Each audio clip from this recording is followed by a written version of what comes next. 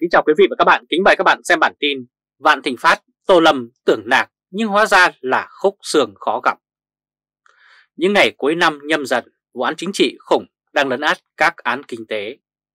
Chỉ trong vòng 10 ngày, ba nhân vật lớn trong chính quyền của Đảng Cộng sản Việt Nam lần lượt bị rơi rụng. Đó là ông Phạm Bình Minh, ông Vũ Đức Đam, mà đặc biệt là ông Nguyễn Xuân Phúc. Cho đến sau Tết Nguyên đán, vụ phế chuất ông Nguyễn Xuân Phúc vẫn còn dậy sóng dư luận. Người ta hay quan tâm đến chính trị hơn kinh tế nên vụ án chính trị thu hút sự chú ý của xã hội nhiều hơn.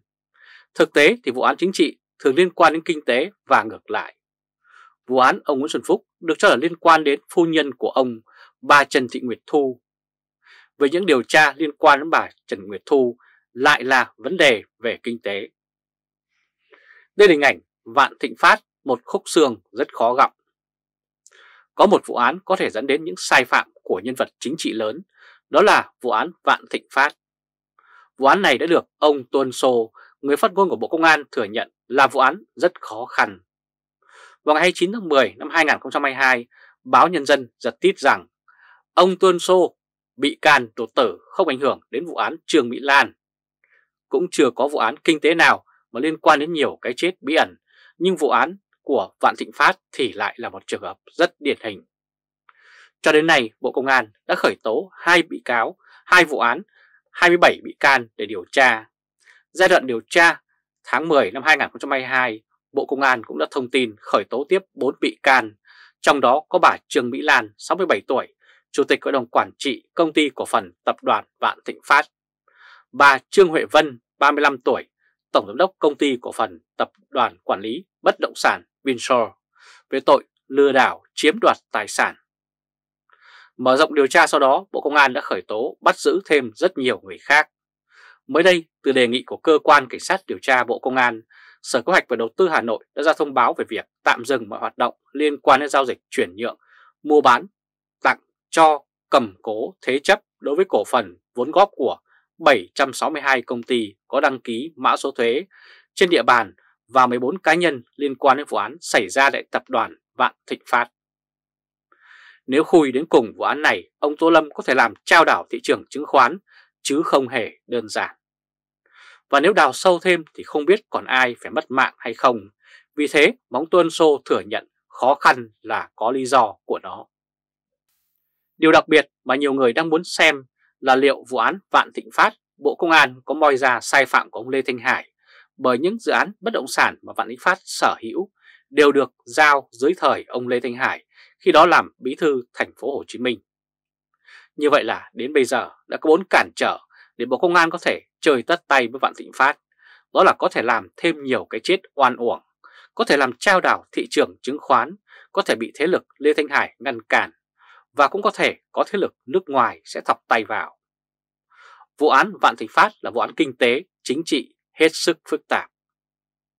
Không phải ngẫu nhiên mà ông Lê Thanh Hải vẫn miễn nhiễm với cái lò của Nguyễn Phú Trọng cho đến hôm nay. Ông Nguyễn Phú Trọng từng quật ông Đinh La Thăng khi ông này là đương kim bí thư thành ủy thành phố Hồ Chí Minh, nhưng ông Trọng lại bó tay với ông bí thư đã về hưu như ông Lê Thanh Hải. Có người thì nói rằng nếu ông Lê Thanh Hải mà yếu thì ông đã vào tù bóc lịch từ lâu rồi. Vụ án Vạn Thịnh Phát vẫn đang dậm chân tại chỗ. Đây là vụ án thách thức ông Nguyễn Phú Trọng và ông Tô Lâm và thách thức cả thế lực Tây Ninh đang lên. Ông Nguyễn Văn Nên đang là cánh tay đắc lực đối với ông Nguyễn Phú Trọng ở miền Nam.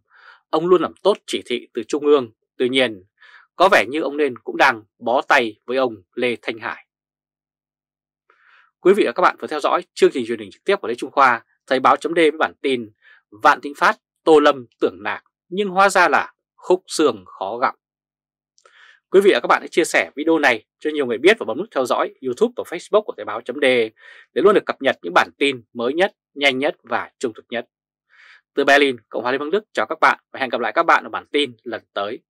Trung Khoa Thời báo chấm Kính chào quý vị và các bạn, kính mời các bạn xem bản tin Nguyễn Thành Phượng, Đại Tiểu Thư coi trọng nhẹ tình. Có thể nói, trong những người thân của các đời thủ tướng, chưa ai giữ dằn như Nguyễn Thành Phượng, con gái rượu công cựu Thủ tướng Nguyễn Tấn Dũng. Phượng có học, Phượng có thế lực cũng rất khủng và Phượng từng trải trên thương trường cho nên Phượng có thể làm bà trùm không ngai trên thị trường tài chính của Việt Nam. Ông Nguyễn Tân Dũng là nhà lãnh đạo tài tiếng, tuy nhiên vấn đề nuôi dạy con cái thì ông lại là người có hạng. Có hạng vì con ông không ngông nghênh ỉ lại như con cái những quan chức khác. Phần vì ba người con của ông Nguyễn Tân Dũng đều có năng lực học tập nên không cần phải khoe khoang sức mạnh của bố mẹ để lên đời với xã hội. Đây là hình ảnh Nguyễn Thành Phượng, con gái ông Nguyễn Tân Dũng.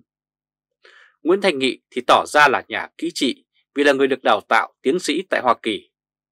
Nguyễn Minh Chiết thì cũng được học hành tại Anh Quốc với bằng thạc sĩ và Nguyễn Thanh Phượng cũng không ngoại lệ. Bà Phượng cũng được đi du học tại Thụy Sĩ và kinh qua rất nhiều chức vụ trong các tập đoàn lớn. Tuy là con của Nguyễn Tân Dũng nhưng nhiều người khen Nguyễn Thanh Phượng là có năng lực thực sự. Có người cho rằng bà Nguyễn Thanh Phượng mà theo nghiệp chính trị như anh và em trai thì có lẽ bà đã bỏ xa ông anh của bà. Đó chỉ là nhận xét theo chữ nếu, mà đời không xảy ra chữ nếu, vì khi dùng đến chữ nếu thì mọi việc đã là quá khứ, không thể nào thay đổi được. Trong trò chơi tại thương trường, bà Nguyễn Thanh Phượng cũng được cho rằng đã thọc tay vào những thương vụ lớn, tuy nhiên lưới pháp luật không thể chạm đến bà. Không phải vì bà Phượng dựa hơi ông tía đầy quyền lực, mà bởi Nguyễn Thanh Phượng chỉ điều khiển hình nhân thay thế mạng trong những vụ đầy rủi ro. Trong vụ án Mobile Phone mua IVG của Phạm Nhật Vũ, có một công ty định giá tham gia vào thương vụ này là công ty trách nhiệm hữu hạn đầu tư và thẩm định giá Amax. Công ty này được thành lập với vốn điều lệ chỉ có 3,8 tỷ đồng nhưng đã định giá AVG của Phạm Nhật Vũ có giá trị lên đến 16.565 tỷ đồng, cao hơn giá trị thật tới 14.565 tỷ đồng. Đây là hình ảnh tờ báo tuổi trẻ trong nước đã từng lên án hành động lấp sông xây biệt phủ nhưng không dám nói tên chủ nhà. Về kết quả thẩm định của Amax mà Mobifone mua AVG lên đến gần 9.000 tỷ đồng và thế là hai bên chia nhau 7.000 tỷ đồng. Vụ án đã đưa hai vị cựu Bộ trưởng Bộ Thông tin và Truyền thông của Việt Nam là ông Nguyễn Bắc Son và ông Trương Minh Tuấn vào tù. Em trai Phạm Nhật Vượng, tức là ông Phạm Nhật Vũ, cũng phải vào tù. Và tất nhiên người đứng tên pháp lý của công ty Amax là Võ Văn Mạnh cũng phải vào tù. Võ Văn Mạnh là nhân vật vô danh, không thân thế, không quyền lực mà sao có thể lập doanh nghiệp vốn điều lệ 3,8 tỷ đồng, lại được đi định giá, giá trị thương vụ đến tới 16.000 tỷ đồng. Câu trả lời là linh hồn của Amax không phải là Võ Văn Mạnh mà dư luận cho rằng Nguyễn Thanh Phượng là vậy. Không phải Nguyễn Thanh Phượng thì một tiểu tốt nào cỡ Võ Văn Mạnh có thể đủ sức cạnh tranh tham gia cuộc chơi này. Trong thương vụ Mobile Phone mua AVG, ông Tô Lâm cũng bị dính vào. Nhưng ông này đã đóng dấu mật trên tài liệu nên cơ quan điều tra không có quyền tiếp cận. Còn Nguyễn Thanh Phượng như là người vô can trong thương vụ. Có ý kiến thì cho rằng ông Nguyễn Phú Trọng cho đốn vụ này hòng moi ra Nguyễn Thanh Phượng nhưng cũng đành bó tay. Đây là hình ảnh, lẽ nào ông Nguyễn Phú Trọng lại bó tay? Mới đây trên bài viết của nhà báo Trương Huy San có cho biết con gái của Nguyễn Tấn Dũng lấn sông rạch đỉa, nhà bè với một diện tích rộng gấp 3 lần khuôn viên căn biệt thự cô ta sở hữu, mà không hề bị chính quyền thành phố Hồ Chí Minh xử lý. Hành vi vi phạm pháp luật này kéo dài hàng năm, báo tuổi trẻ phản ánh đã gần 3 tháng, nhưng chính quyền vẫn không dám triệu tập chủ nhà. Huyện ủy Nhà Bè cũng chỉ dám có một báo cáo mà không ai đọc được vì lại đóng dấu tối mật.